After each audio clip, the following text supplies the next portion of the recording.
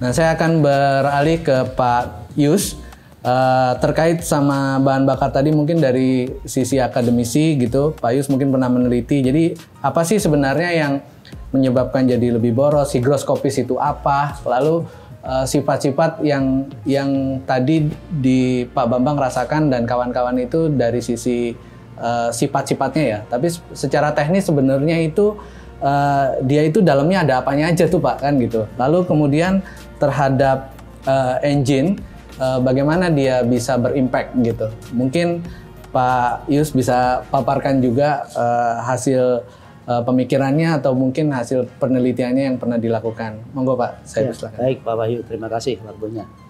Jadi biodiesel atau kita kenal secara nama generik adalah fatty acid methyl ester. Itu kan dibuat dari esterifikasi dari crude palm oil atau minyak sawit ya di mana di dalam prosesnya itu menggunakan alkohol juga sehingga karena itulah dia mempunyai sifat higroskopis dan mempunyai sifat deterjensi. Jadi dulu ketika awal B5 tahun 2008 mungkin ya, ketika orang menggunakan itu awal-awal, maka filternya itu sering dijumpai kotoran, kerak-kerak di mana kerak-kerak itu adalah hasil pelarutan dari sifat deterjensi dia terhadap deposit yang ada di tangki bahan bakar, ada di saluran bahan bakar dan sebagainya. Sehingga akhirnya semuanya nyangkut di filter. Filternya blok harus diganti filter. Dan karena ada gugus alkoholnya juga, kita tahu alkohol itu menyerap air. Maka dia memiliki sifat tadi higroskopis. Jadi kalau di tangki timbun kemudian banyak ruang kosong di dalamnya, iya dari sore ke malam yang mendingin kemudian terjadi kondensasi uap air yang ada pada uh, ruang udara di atasnya itu akan diserap oleh FAME tadi sehingga akan menimbulkan kenaikan kadar air di dalam bahan bakar. Nah kita tahu bahwa bahan bakar itu dengan air bisa bereaksi, bisa bercampur yang membentuk emulsi. Nah di emulsi itulah kemudian tumbuh bakteri, tumbuh hmm. jamur dan sebagainya yang akhirnya membentuk seperti lapisan gel. Hmm. Kalau ini ketika di dalam didistribusikan kemudian masuk ke tangki bahan bakar kendaraan, maka tentu gel ini akhirnya bermuara di filter juga. Sehingga di awal-awal kita juga jumpai banyak filter yang blok karena munculnya gel di situ. Nah, kemudian yang lain adalah sifat dari biodiesel yang nilai kalorinya lebih rendah. Jadi kalau biodiesel ini nilai kalorinya 37 megajoule per kilogram, solar itu nilai kalorinya 43 megajoule per kilogram. Jadi kalau dengan komposisi 65% solar, 35% biodiesel, kira-kira nilai kalorinya turun 5%. Hmm. Karena itulah kemudian penggunanya akan mengalami kenaikan konsumsi bahan bakar sekitar 5% juga gitu. Karena memang kadar energi yang dikandung per liternya lebih rendah. Kemudian eh, ketika dia disimpan, itu juga karena bercampurnya tidak secara kimia, tapi secara fisik saja. Hmm. Maka lama-lama juga akan terjadi separasi. Jadi kalau dibiarkan kadar biodieselnya yang bawah itu lebih banyak, yang di atas lebih sedikit. Pernah ada penelitian yang mengatakan bahwa ketika diukur setelah kira-kira dua minggu, yang di bawah itu 57 persen yang di atas cuma 5 persen. nah, terbayang Pak Wahyu kalau 57 persen ini masuk ke dalam engine. Hmm. Ya, karena sifat tadi, sifat ketidaktahanan dia terhadap oksidasi dan kandungan monogliserid yang cukup besar di dalam biodiesel, nah muncullah ya. deposit Pak. Hmm.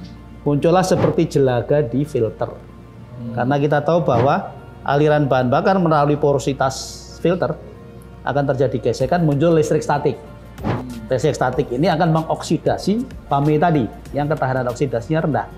Sehingga kalau kita lihat sekarang di lapangan di alat berat itu bukan lagi gel tapi seperti jelaga.